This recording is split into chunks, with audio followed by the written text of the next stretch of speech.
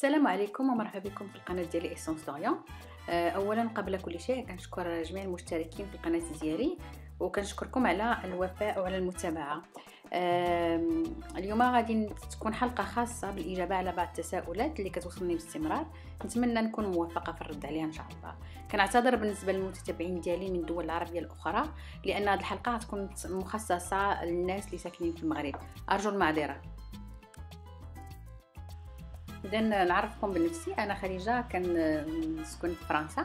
داكشي علاش شي مرات ملي كتسولوني على شي حوايج في المغرب ما كتلقاوش عندي الجواب. اذا داكشي علاش فكرت ندير هذه الحلقة هذه باش نجاوبكم على شوية تاع الأسئلة اللي صيفطوا ليا أه وفي المستقبل إن شاء الله غنبقى مرة مرة ندير فيديو أه هكذا. نعطيكم فيه معلومات إن شاء الله.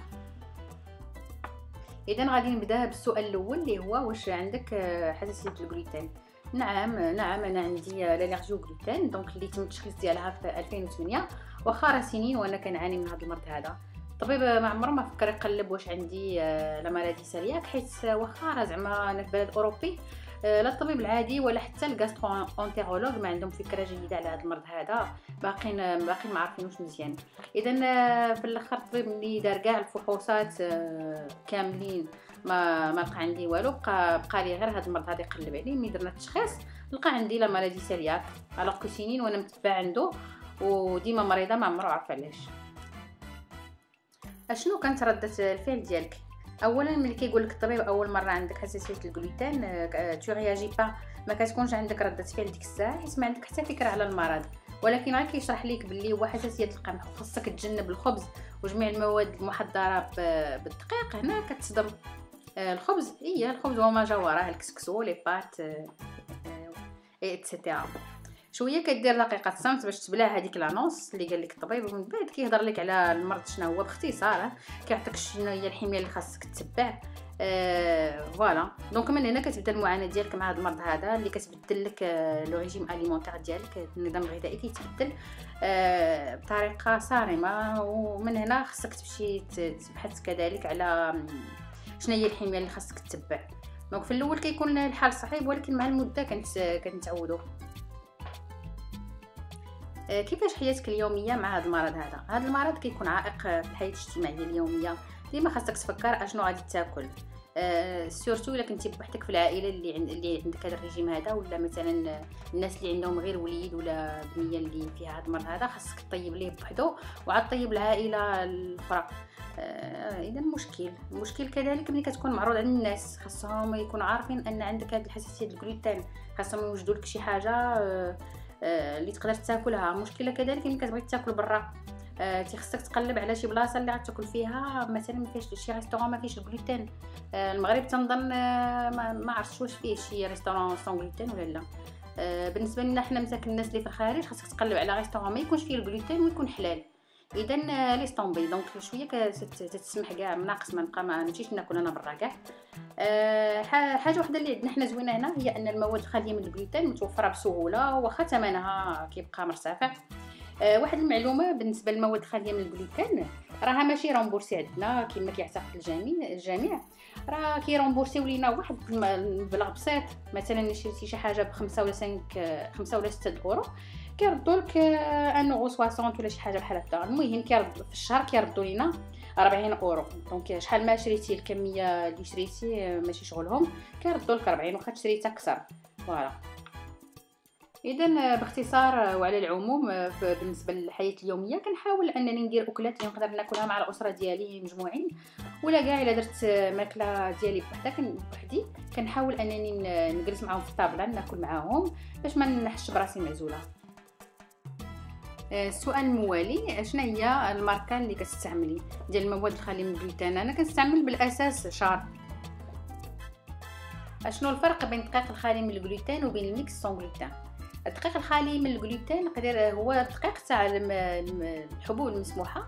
بحال الذره دقيق الذره دقيق الروز دقيق ال sarrasin آه، le millet بحال الايلان مثلا دقيق القطاني بحال الحماص العدس. أما بالنسبة لل mix ال mix هو خليط ديال نوع ولا جوج ولا ثلاثة تاع الدقيق الخالي من الجلوتين آه مع شوية تاع النشويات. النشويات شنو هما؟ عندنا مثلا النشا تاع الذره والنشا تاع البطاطا ولا التابيوكا وكنزيدو عليه شوية تاع الصمغ. الصمغ اللي كاين عندنا على كاع كاع صمغ ال xanthane الصمغ ال guar الصمغ العربي المسكة الحرة. ولا ال psyllium اذا هاد المواد هذا كتبقى شوية صعيبة باش نحصلوا عليها.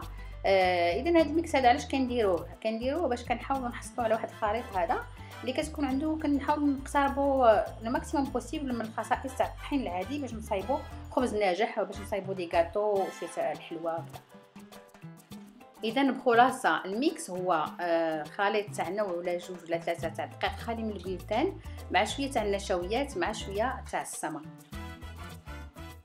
هذا ال mix هذا نقدروا نشريوه جاهز للاستعمال أو نصايبوه في الدار الروسنا علاش ما كنحصلوش على نفس النتيجة بحال الفيديو؟ آه كنعرفوا بلي أن la farine sans gluten راه ما ساهلاش في الخدمة.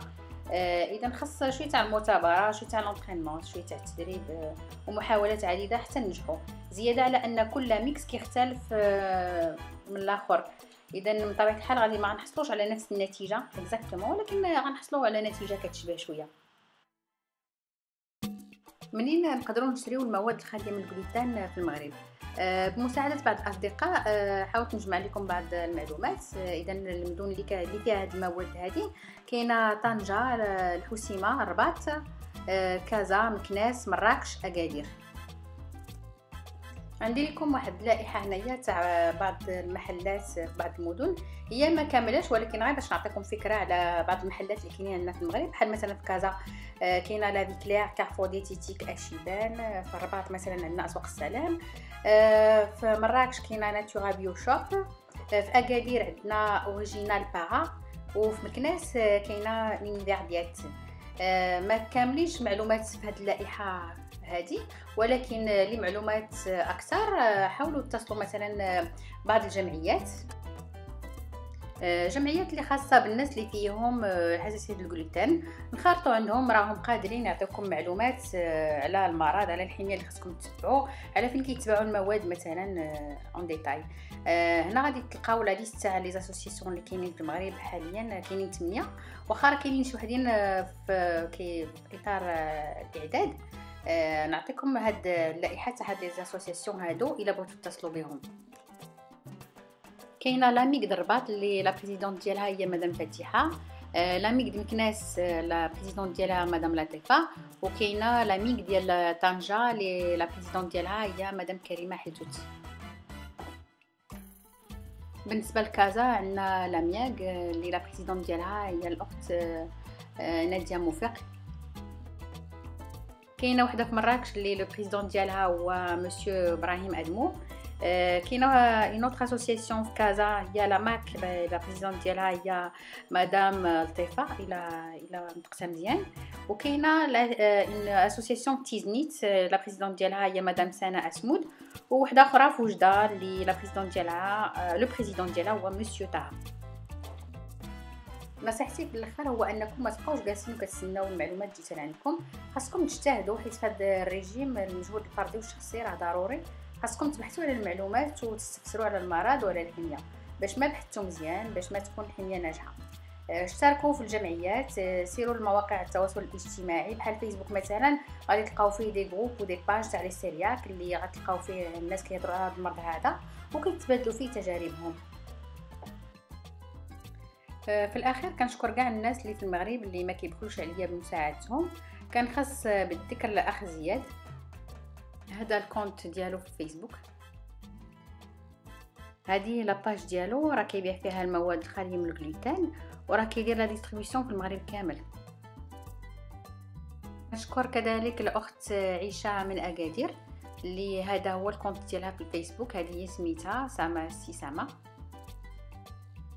هذه la page ديالها اللي حتى هي كتحط فيها الوصفات الخالية من الغلوتين حتى هي تبارك الله عندها واحد الوصفات. ما عندي ما نقول surtout ديال الخبز. اذا آه، juste المعلومات الأخت الأخ زياد والأخت سما راه عندهم كذلك des groupes تاع الناس آه، اللي فيهم مرض تاع السيلياك.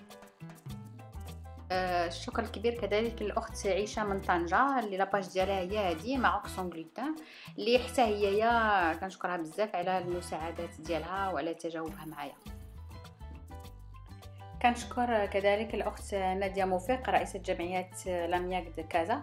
على la collaboration ديالها وعلى كل المعلومات والوثائق اللي صيفطت ليا.